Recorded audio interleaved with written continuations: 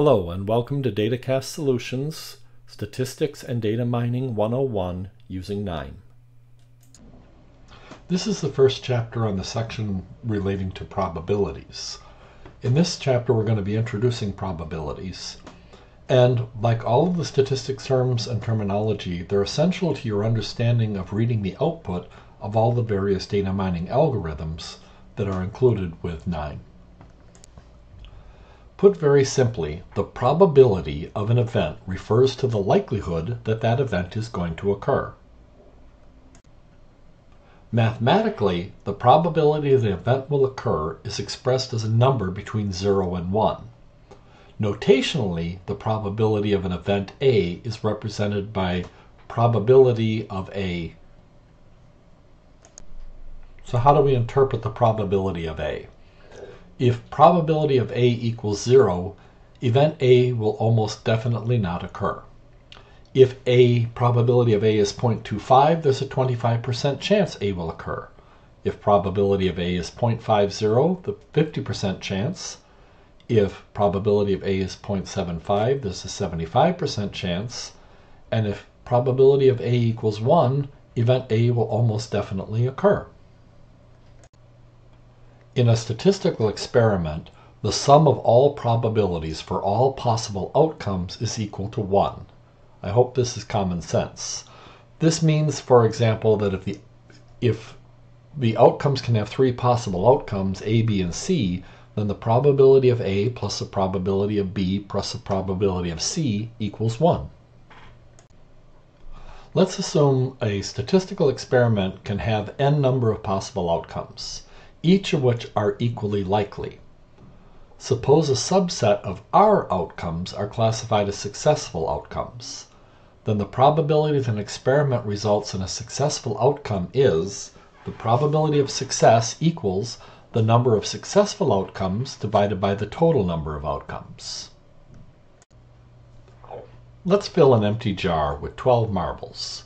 We're going to add 4 red marbles, 3 green marbles, five blue marbles to the jar. Now, what is the probability of picking a green marble from the jar? We have 12 equally likely outcomes. Therefore, the probability of success is going to be equal to the number of successful outcomes, which is 3 green marbles, divided by the total number of outcomes, which is 12, leaving us 0.25 as our probability.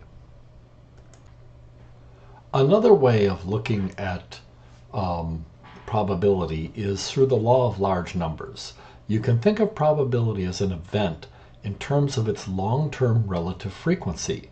The relative frequency of an event is the number of times that an event occurs divided by the total number of trials.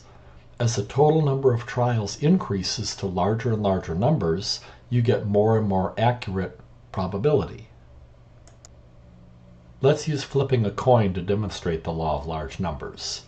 You know that when you flip a coin, the probability of heads is 50%.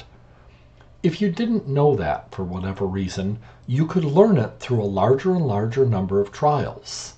If the number of flips is 10, you might get a number between 0.4 and 0.6. And if the number of trials is 100, you might get between 0.49 and 0.51. And it's a 1,000, you might get um, 0.499. You can see with the higher and higher numbers of flips you make, the larger the frequency is going to get to a, a more and more accurate number.